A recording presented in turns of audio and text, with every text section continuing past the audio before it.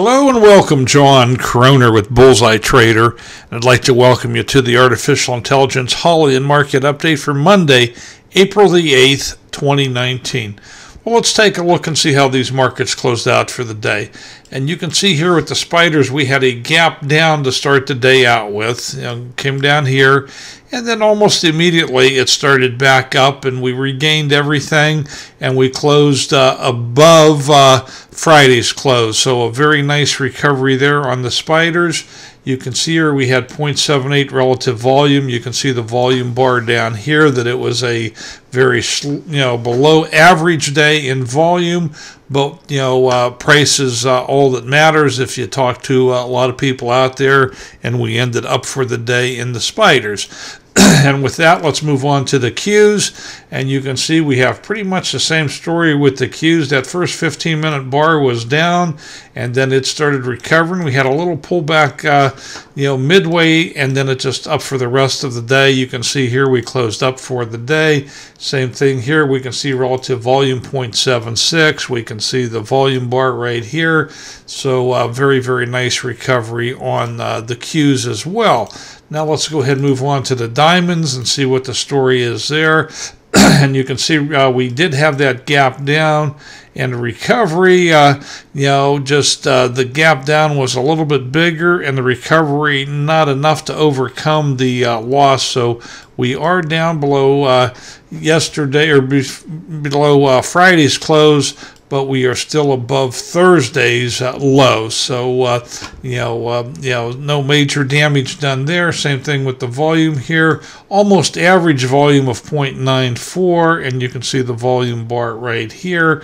So, uh, you know, uh, as always, let's see what tomorrow has to bring. And with that, Let's move on to Holly and see how she did. Uh, and a lot of times when you have those gap days, Holly does struggle a little bit. So we look at Holly Grail, nine trades on the day, lost 30 cents.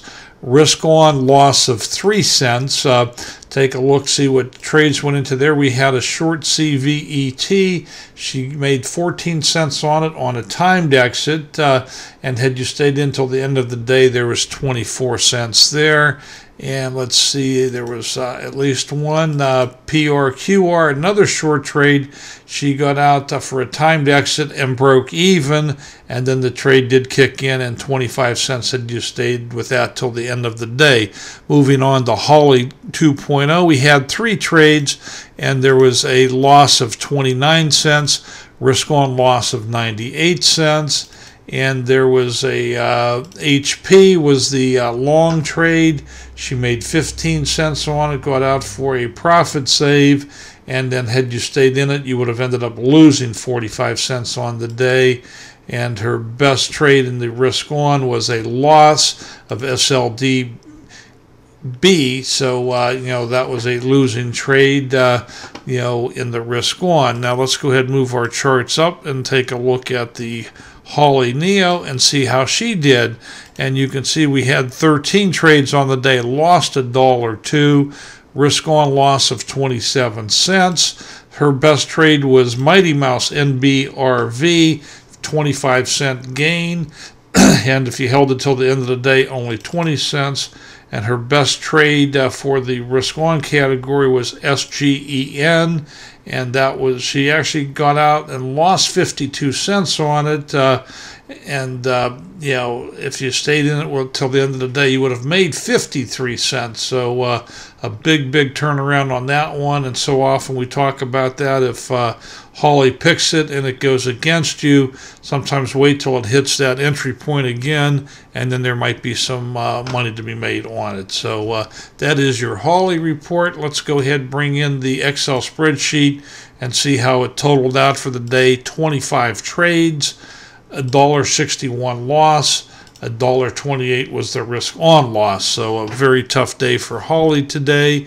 And uh, with that, I just want to thank you for watching today. I want to remind you to subscribe to these videos. Uh, there'll be a link right up on the left there, and uh, you can watch some video on the right here to uh, get some free stuff uh, from Trade Ideas to help you be a better trader.